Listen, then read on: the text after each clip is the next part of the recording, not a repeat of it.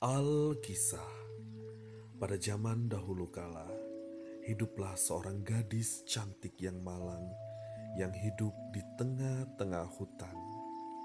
Dia adalah Ayu Saraswati.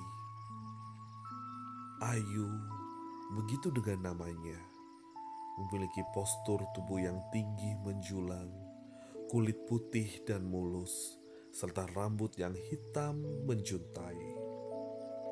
Ayu Saraswati, nama yang indah, namun tidak seindah dengan nasib bagaimana dia harus bertahan hidup di tengah hutan ketika masih belasan tahun.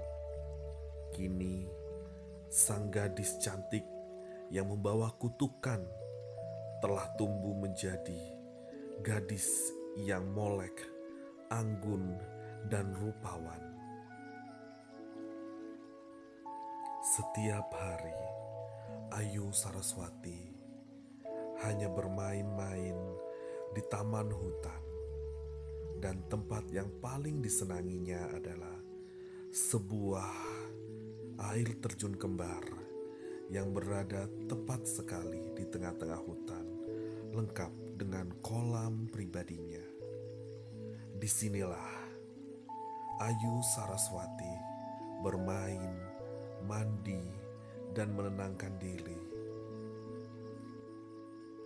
Ayu Saraswati sendiri tidak begitu paham kenapa dirinya dibuang begitu jauh di tengah hutan, sedangkan dirinya adalah seorang putri dari kerajaan yang amat makmur. Usut punya usut. Ayu Saraswati membawa gendam kuntilanak yang telah menjadi kutukan di dalam kerajaan ayahnya sendiri. Itu mengapa Ayu Saraswati dibuang ke dalam hutan. Selain membawa sebuah kutukan yang sangat mematikan, Ayu Saraswati memiliki kelamin ganda.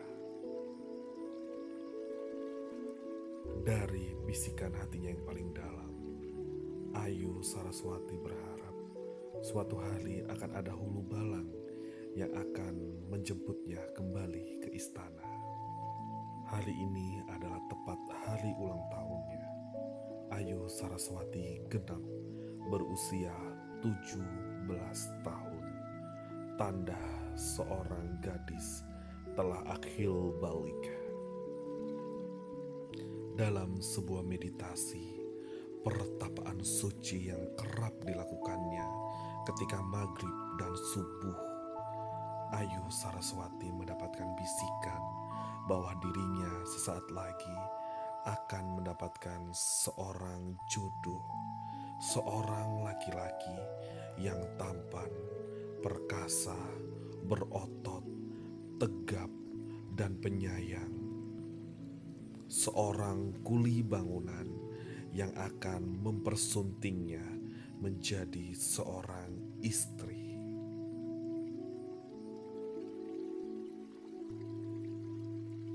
Di balik sebuah pohon, ada seorang pemuda manis berkumis tipis yang sedang memperhatikan Ayu Saraswati.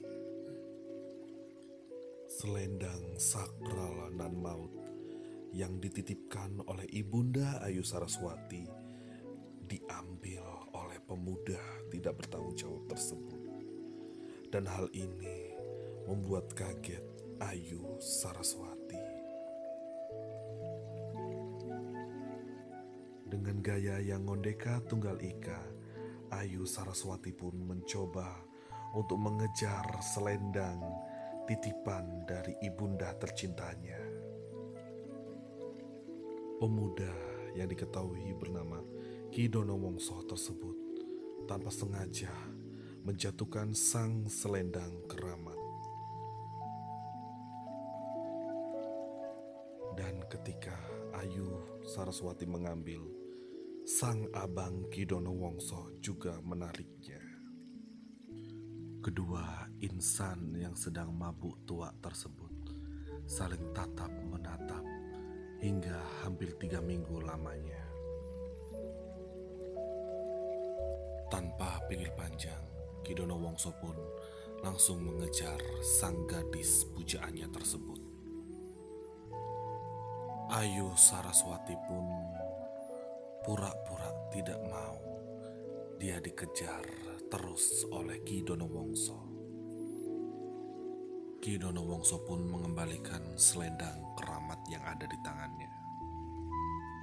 Keduanya sepertinya mulai jatuh cinta, saling dimabuk asmara, saling birahi, dan saling menginginkan satu sama lain. Mungkin ajian pelet pangestu yang dimiliki oleh seorang Ayu Saraswati begitu mengena oleh Ki Donowongso.